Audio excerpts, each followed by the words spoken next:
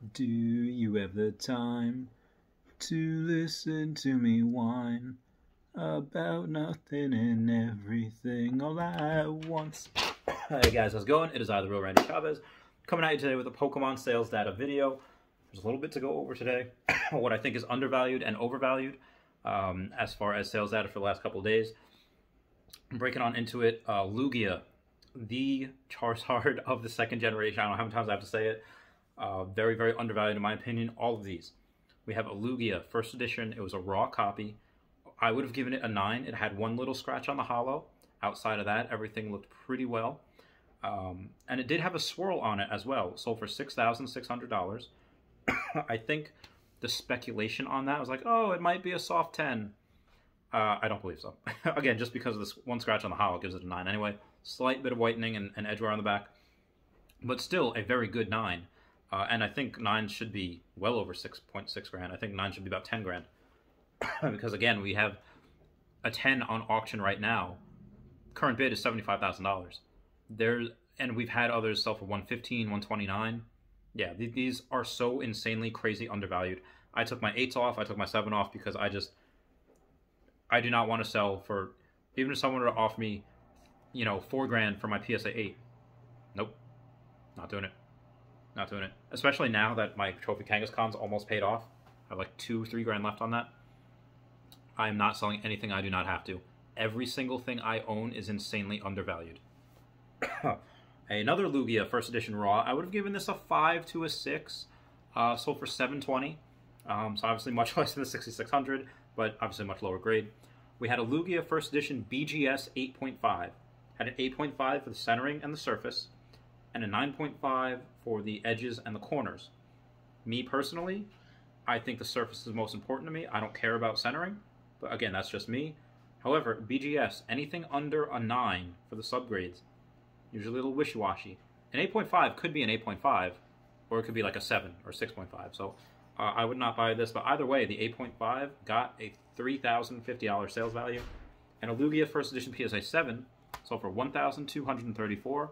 I forget what that's called when the numbers are ascending in a row like that, in a pattern, um, consistently with precision. But either way, um, I think that is very low for PSA 7. Neo Destiny. We only have two here. We have a Light Arcanine, first edition PSA 9, so for 891, and a Dark Espeon, first edition PSA 9, so for 945. I'm not 100% sure why, even though the Espeon from Neo Discovery, I think, yeah, that one was the first Espeon that we see, the Dark Espeon tends to be a little bit more, a little more coveted. A lot of people like it more. It does, in my opinion, have slightly better artwork, even though I don't like to admit it, because I have some special place in my heart for the original Espeon. But yeah, pe- people love it. Um, if you're looking to invest, and I don't know which one I should go for, I should probably go for this one. Even though I, again, I, I think that, you know, the first appearance of Espeon from Neo Discovery is amazing. There's not too many of them. People just love this one for whatever reason uh, Skyridge, we had a Charizard Holo PSA 9, so for $6,900, 6.9K. Nice. Everyone type nice down below for that. And uh, Crobat PSA 10 Holo, so for $2,550. I think that is a record price point for Crobat.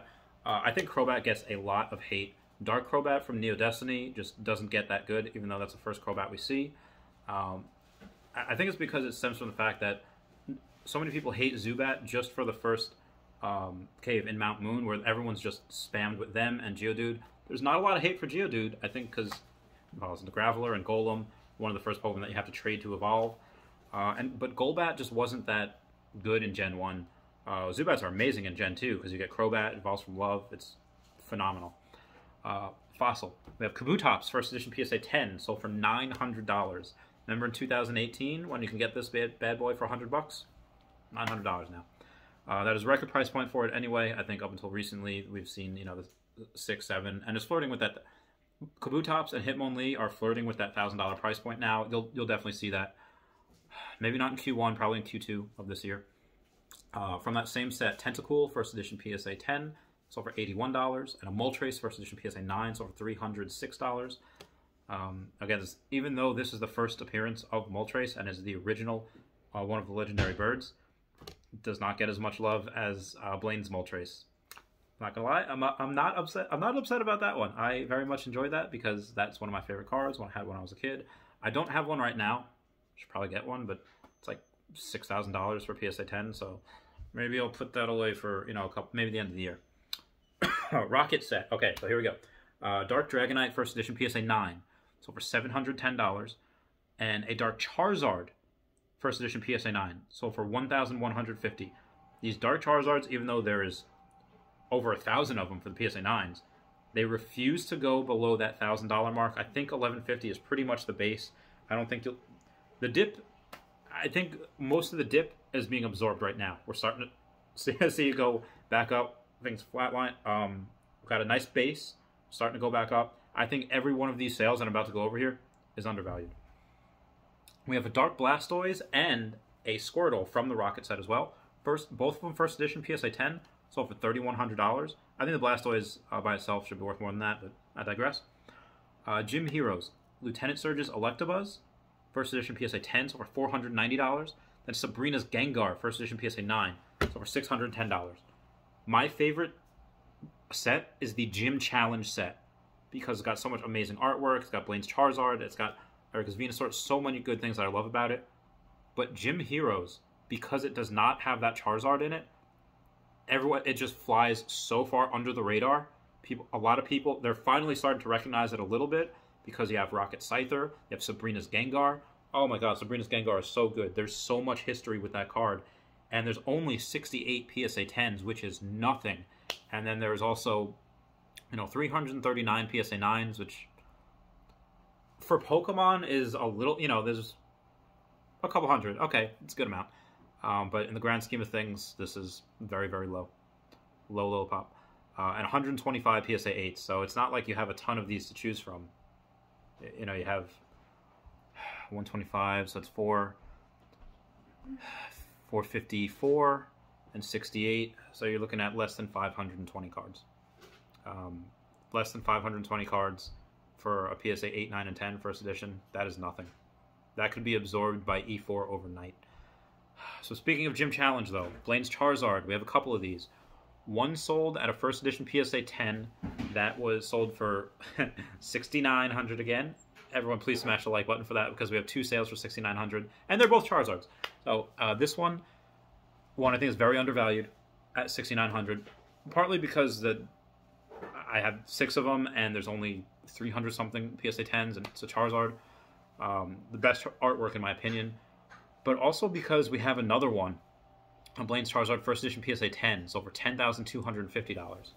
Now, granted, that first Charizard, that Blaine's Charizard sold for 6900 that is something that sold, someone like me sold it. They had like 200 something feedback. It was all 100% positive, but they're just, it wasn't a PWCC auction. It was just a normal auction by like someone like me that's just like, you know, I, I just need some money and I'm to go sell it.